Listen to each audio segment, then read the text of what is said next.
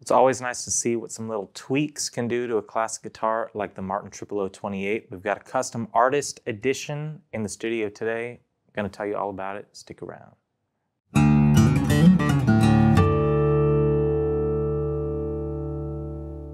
How's it going, guys? This is Cooper Greenberg here at Alamo Music Center in San Antonio, Texas. You can find us online at alamomusic.com. And if you haven't already, what you doing? You gotta subscribe, turn your notifications on, like the videos, comment on them, and check out the podcast in the description below. It's called the Fretboard Confessional.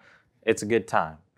So, like I said, I got a custom artist model here in the studio today. This is a Martin 0028 Brooke Ligertwood uh, special edition. All right, and the thing is, I spent all morning trying to find out how you pronounce her last name. Some of you may know of her. I thought it was going to Ligertwood. I've seen it in print many times, and then obviously she is in her genre such a massive star that many people just call her Brooke. And they say, "Hey, we got Brooke here in the studio." There's not a ton of people saying her last name in these interviews, so I had to dig. I believe it's Ligertwood. Uh, maybe the T is silent. I read that somewhere. Either way, Brooke is the worship leader of Hillsong Church. She's from New Zealand, and uh, she's got herself a very nice Martin custom artist model 0028. Now, these got introduced a few months back. I believe it was around NAMM time. And, uh, you know, I love a 0028. I love an OM28. Pretty much any, you know, orchestra size guitar from Martin and beyond will be a winner in my book. But 0028 is kind of the tried and true. It's probably the one that people want the most in our store when it comes to Martin standard models. So it's nice to see, like I said at the outset, what some little tweaks can do as opposed to you know a standard um, spec 0028. This has a couple little changes, and I believe when she was designing the guitar, she took some uh, took some cues from a few other signature models, the Paul Simon, and the Eric Clapton, which are fantastic guitars in their own right. I like that she kept it real standard. There is a, um, this is the natural top with a little aging toner. There's a sunburst as well. But for the most part, same scale length as 0028. All that stuff's gonna be the same. The big difference is this is a uh, 111 16th inch nut width, and it's got a modified V-neck, which we've been talking about them a lot recently. Coincidentally, there's a lot of V's coming into the store. Um, I like a V. It's a little uh, unorthodox now, given that everybody wants that modified low oval. But the uh, the V feels really nice in here. It's very soft. It's modified. It's uh, it's not a super hardcore V. I'm pretty sure the V comes from that Eric Clapton model. I could be totally wrong, but um, really good feel. Really nice, especially with the slightly narrower nut. I know a lot of players are going to really enjoy that. And otherwise, I mean, you take a look at it. The top is pretty exquisite. I love the toner that they used on there. It's got flame maple binding. It might look like antique white to y'all, but up close it is, um, you know, it's a nice European flame maple. Got the Style 28 back strip. You can see a little, little dust on there because it's fresh nitro. I just took it out of the case for the first time, so it's still getting used to what's going on. Um, I love the long diamonds and squares inlay. I did the short on our Martin Custom Shop, but the long is very nice too. You know, as we know, 28, it's going to be spruce and rosewood, so there's East Indian rosewood back and sides. And then the two big identifying factors besides those little tweaks in the uh, neck is going to be the wreath inlay under the, the logo and uh, Brooke's signature, which is down here, I believe, on the 20th fret. And then in the label inside, you got 0028 Brooke Ligertwood Custom Artist Edition. This is number 163, and it's got her uh, signature in there as well. Now, probably given Chris McKee, my partner in crime's history of being a worship leader himself, he would be a little more informed to tell us a little bit about her history, about Hillsong, about the entire worship music scene, because I know she is a giant of that scene. Uh, myself, not being as in tune with the genre, I cannot speak to her or, I mean, I've listened to her music because I knew we were getting this, did my research. Beautiful stuff. She's a very talented writer, singer, performer, player. Um, but I think the beauty of getting to review a guitar without the added knowledge or background of knowing a ton about the music is I can very unbiasedly judge the instrument without the extra story, That's why when we do, you know, the Kingfish guitar, which came out recently, we're both huge fans of it. We love the guitar, but it's hard to separate, you know, because we love the guy.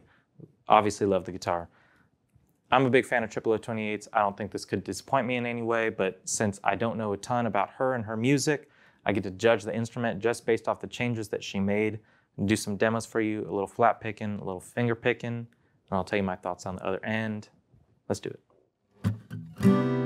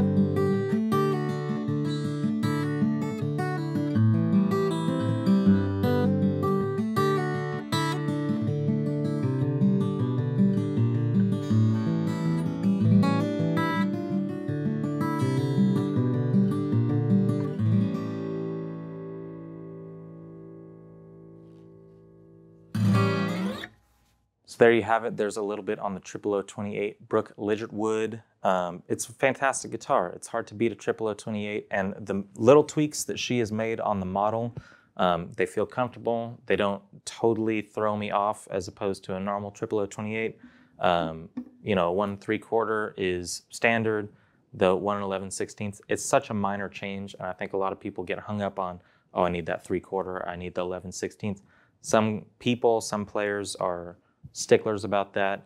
It doesn't change my, you know, feelings about the guitar that much, but it does feel like a very comfortable neck. I like the modified uh, V, really nice feel. Like I said earlier, I dig the V, and uh, for me, recently I got to do the custom shop. If you've seen the video, if you haven't seen the video, I did an OM28. Um, it was three quarter inch, and the biggest thing for me between an OM28 and a triple O28 that I appreciate on the OM is a small teardrop pick guard. This has got the larger uh, triple O pick guard, but something about the look, the uh, the rosette, the aging toner, the maple binding, it fits that big pick guard. It does give me a little flashback and a little bit of that Eric Clapton vibe. And um, I'm also not like the world's biggest Eric Clapton fan, but that's a fantastic guitar. There's something kind of inspiring about taking a very standard, very classic, tried and true, you know, over 100 year old model and uh, making it your own and doing a couple little changes, but still preserving the legacy of the classic. And I really think that's what Brooke has done here. It's a beautiful guitar, and I know that they're not super easy to get a hold of. Um, I would have loved to have the Sunburst and the Natural get to play them both for you. I believe this is the only one that we're going to get is the this Natural right here, number 163. So if you dig it, um, I'm assuming that the owner of this guitar is going to be a big fan of Brooke herself, but there is also a side possibility that you are a player out there that really wants a 0028. You would like it to have some European flame maple binding and a slightly narrower nut width, a different neck profile, maybe a V, and uh, just some very tasteful, small, you know, insignia to, you know, show that it's Brooks guitar. But I think anybody that's a Martin fan would fall in love with this guitar. So highly recommend if you're in the area, come in and play it. If you're looking for a 0028, um, you know, I'm happy to answer any questions that you got. You can go on our website, read it spec by spec, get pricing information on there. And, uh, you know, if you're into it, act fast because this is probably going to be the only one that we've got. So thank you all very much for watching. Let us know what you think in the comments. Are you a 1 and 11 16ths player? one and three quarter. Do you think it makes a difference? Do you think the V makes a difference? Um, I'd love to start the conversation. So thank you all for watching. We'll see you next time.